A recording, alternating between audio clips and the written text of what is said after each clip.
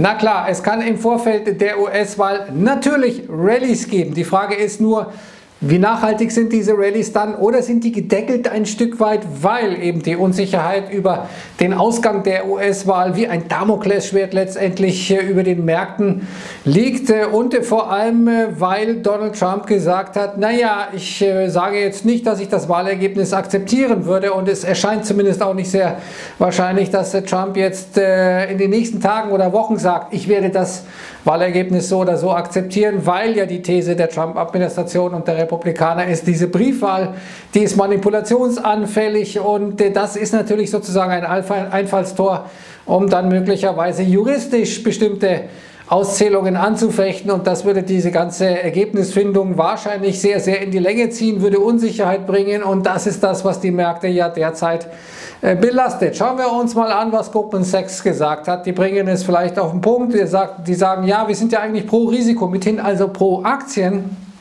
wollen also eigentlich nicht verkaufen, aber es könnte sein, dass die äh, Risikoassets, also wie Aktien, in einer Choppy-Bewegung sind, in einer Seitwärtsbewegung sind, wo es mal rauf und mal runter geht, ohne ganz, ganz klare Richtung. Und vor allem sagt äh, Goldman Sachs auch, dass äh, natürlich das Coronavirus jetzt ein immer größeres Thema werden könnte. Dazu gleich mehr. Aber vor allem interessant, dass Goldman Sachs sagt, es gibt zwei wirklich gute Szenarien für die Aktienmärkte. Das eine wäre, ja, wenn Donald Trump gewinnt, denn dann würde mehr oder weniger alles beim Alten bleiben, zumindest wenn eine Kammer, also Senat oder Abgeordnetenhaus, auch republikanisch bliebe dann äh, hätte man eine Fortsetzung der bisherigen Politik. War ja nicht so schlecht seit 2016 für die Aktienmärkte, wird hier argumentiert. Aber noch besser wäre, wenn es äh, einen Durchmarsch der Republikaner gäbe, wenn also Joe Biden Präsident würde, das äh, Abgeordnetenhaus demokratisch würde und der Senat demokratisch würde. Das wäre dann sozusagen der maximal positive Fall für die Aktienmärkte, weil es heißt Stimulus ohne Ende. Die Demokraten wollen ja viel, viel mehr Geld in die Hand nehmen, um die Wirtschaft zu stimulieren. Das sagte Goldman Sachs, wäre eben gut für die Aktienmärkte. Schauen wir uns mal hier noch die derzeitige Prognostik an, die wir hier sehen. Wir sehen Präsident Biden, alles sozusagen demokratisch, immerhin die wahrscheinlichste Option derzeit, so die Demoskopen mit 24,1 Prozent dass zumindest das Abgeordnetenhaus demokratisch bleibt. Und äh, Präsident Biden wird äh, immerhin 20 Prozent, 20 Prozent auch die Wahrscheinlichkeit, dass Trump Präsident wird. Aber beide Kammern äh, bei den Demokraten äh, bleiben oder die Demokraten beide Häuser gewinnen. Also hier sehen wir verschiedene Wahrscheinlichkeiten. Die geringste Wahrscheinlichkeit sieht man derzeit, dass Trump Präsident bleibt und beide Kammern republikanisch bleiben. Warum können wir gleich äh, vielleicht auch mal sehen? Nämlich, wir haben jetzt heute ja diese Debatte. Äh, die äh, um 3 Uhr nachts deutscher Zeit äh, stattfinden wird. Dauert circa 90 Minuten ohne Publikum, beziehungsweise nur mit ganz wenig Publikum. Kleiner Nachteil für Trump, der ja sehr gut ist im Antizipieren von Stimmungen, im Eingehen auf sozusagen das Publikum, der sich da fühlte wie ein Fisch im Wasser. Und es wird um folgende Themen gehen, nämlich die bisherigen Erfolge von Trump und Biden. Es geht um den Supreme Court, also die Berufung jetzt der Richterin Amy Barrett, die Trump ja durchziehen will. Es geht um das Coronavirus, es geht um die Wirtschaft äh, und es geht um die Unruhen, die wir hier in verschiedenen Städten äh, gesehen haben der USA und es geht eben um die Integrität der Wahlen. Das sind also ganz große Themen. Man hört, dass äh, die Trump-Berater sagen, es werden 17 Fragen hier Joe Biden vorgelegt, die sehr unangenehm sein sollen. Also äh, da wird sich der jeweilige Kandidat überlegen, wie er den anderen natürlich äh, in die Bredouille bringen kann. Insgesamt, äh, so heißt es, wäre es für Biden schon ein Gewinn, wenn er hier einigermaßen eine gute Figur macht, also nicht fahrig wirkt, nicht stottert, nicht irgendwie ähm, so ein bisschen von einem Thema zum anderen springt, das wäre schon ein äh, Riesenerfolg für Biden, denn die Erwartungen an Joe Biden sind ziemlich niedrig, äh, weil er für viele ja doch äh, einen etwas senilen Eindruck macht. Das ist ja genau das, was auch die Trump-Administration immer versuchte zu vermitteln. Aber wenn er der ähm, durchaus wahrscheinlich aggressiven Haltung von Donald Trump widerstehen kann, wenn er also sozusagen da ruhig und cool bleibt und hier seine Linie fährt, dann sehen die Auguren für Joe Biden einen Vorteil Vorteil, zumal viele Wähler ja jetzt schon gewählt haben oder dabei sind, sich sehr früh zu entscheiden, weil der Anteil der Briefwähler deutlich steigt im Vergleich äh, zur Wahl 2016. Wir sehen, dass jetzt äh, hier auch äh, wieder Stimulusgespräche so ein bisschen im Hintergrund möglicherweise sind zwischen Pelosi und Nucin, wie White House Advisor Larry Kudlow heute gesagt hat.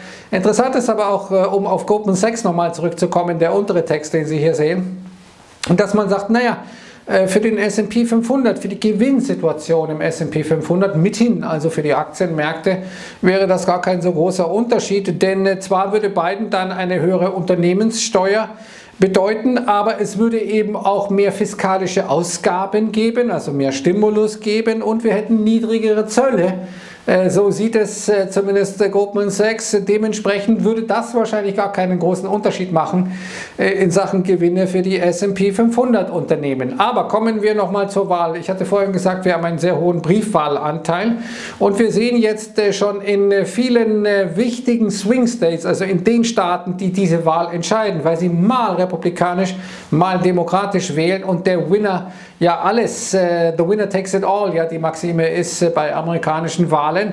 Das heißt, wer Florida gewinnt, der kann eben alle Wahlmänner da in den senden. Wer Ohio gewinnt, wer Pennsylvania gewinnt, wer Wisconsin gewinnt, diese wichtigen Staaten, die sind hier sozusagen entscheidend. Und wir sehen bisher, so meldet es Politico, äh, dass äh, demokratisch registrierte Wähler eine deutlich höhere Nachfrage nach Briefwahl haben als im Jahr 2016, deutlich mehr als die Republikaner. Und das könnte ein entscheidender Punkt sein, dass irgendwie die Aktivierungsquote, die unter oder die bei der Wahl 2016 bei Hillary Clinton sehr schlecht war, weil irgendwie diese Kandidatin nicht wirklich beliebt ist. Äh, Biden ist jetzt auch nicht gerade hochgradig geliebt, aber er ist eben nicht unbeliebt. Er ist sozusagen ein Kompromisskandidat, der äh, den wenigsten wehtut. Aber das ist sozusagen etwas, was derzeit so ein bisschen für die Demokraten spricht, zumindest wenn man diesen Berichten glaubt. Wir haben dann Jetzt auch die Situation nochmal mit dem Coronavirus. Wir haben ja heute in New York die äh, Lage, dass über 3% der Tests positiv sind. Das erste Mal seit äh, vielen, vielen Wochen. Und wenn das Ganze über die nächsten sieben Tage so bleiben sollte, dann müssten automatisch alle Schulen in New York wieder schließen und das wäre praktisch so ein halber Lockdown, denn viele Eltern können dann nicht zur Arbeit gehen.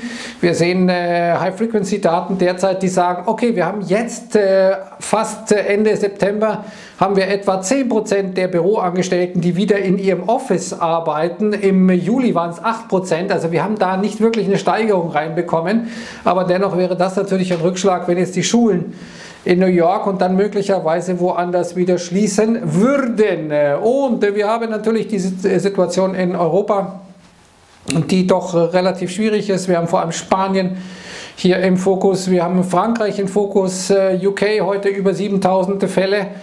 Äh, das ist auch die höchste Zahl seit langer, langer Zeit. Also wir sehen, dass natürlich hier die Kurve erstmal wieder nach oben äh, zeigt und äh, natürlich will keiner einen kompletten Lockdown, aber es könnte immer mehr partielle Lockdowns geben oder lokale Lockdowns und das könnten könnte natürlich dann ein weiterer Belastungsfaktor werden für die Märkte. Hier für die Bären unter Ihnen ein Chart, der nochmal den Vergleich macht zwischen Weltwirtschaftskrise 1929, damals startend im August 1929 und äh, dem S&P 500 jetzt im Jahre 2020. Und da sehen wir, ja, das gibt gewisse Ähnlichkeiten bisher. Die Erholung in 2020 war etwas dynamischer, der Fed sei Dank, aber möglich ist eben auch, dass da noch das Schlimmste vor uns ist. Äh, das äh, wollen natürlich die Bullen nicht hören, aber es ist nichts unmöglich. Und das, obwohl die Amerikaner ziemlich euphorisch sind, wie heute die, äh, das Verbrauchervertrauen aus den USA vom Conference Board gezeigt hat. Da haben wir den größten Anstieg gehabt jetzt zum Vormonat äh, seit dem Jahr 2003. Also plötzlich äh, eine ziemliche Euphorie, plötzlich eine ziemliche Freude jetzt wieder bei den Amerikanern. Mal sehen, ob das ein Kontraindikator ist. Wir sehen auch an den Märkten, um jetzt mal auf das Thema Aktienmärkte wieder zurückzukommen, wir sehen hier die Relation zwischen dem Nasdaq, also dem Tech-Sektor und dem S&P 500. Da hatten wir ein neues Allzeithoch gemacht in dieser Relation. Da sind wir jetzt so ein bisschen zurückgekommen. Aber es ist jetzt nicht gerade so, dass die Euphorie für Tech äh, plötzlich komplett eingebrochen wäre. Also nach wie vor haben wir hier eine gewisse ähm, Euphorie in Sachen Tech. Euphorie ist vielleicht das falsche Wort, äh, um jetzt mal nach Deutschland abschließend zu kommen. Äh, für die Schuldensituation. Wir sehen hier die verschiedenen Bundesländer und ihre Verschuldung und wir sehen hier vor allem Nordrhein-Westfalen massiv verschuldet mit fast 200 Milliarden Dollar. Na klar ist auch der bevölkerungsreichste Bundes, das bevölkerungsreichste Bundesland.